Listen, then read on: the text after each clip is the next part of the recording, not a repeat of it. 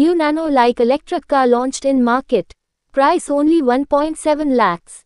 Scooter days gone for common man.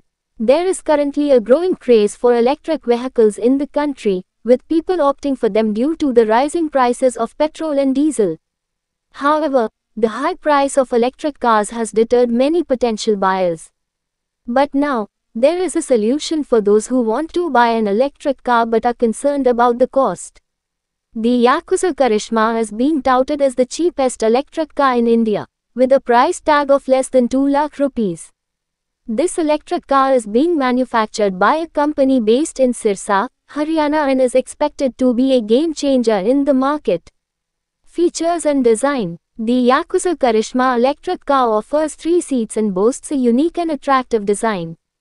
It comes equipped with features like LED DRLS, projector headlamps, LED fog lamps, a broad grille, chrome door handles, connected LED tail lamps, power windows, and bottle holders.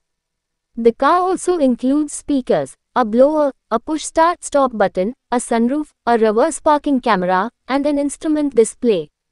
Battery and range The Yakuza Karishma electric car is powered by a 60V42Ah battery that provides a range of up to 50-60 km on a full charge.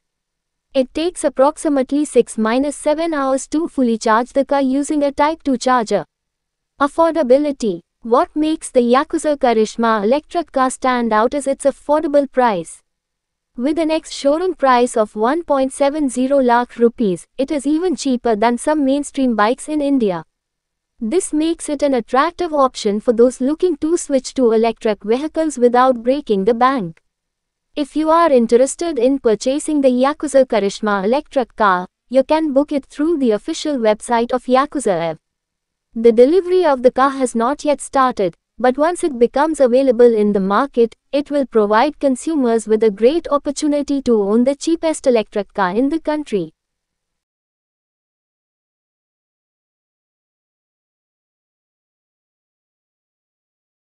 Video को like करें comment करें share करें और subscribe ज़रूर करें।